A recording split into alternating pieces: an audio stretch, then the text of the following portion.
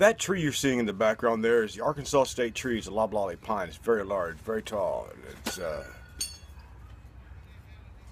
it's done something to my friend Dakota. It's something awful bad. He keeps trying to kill it.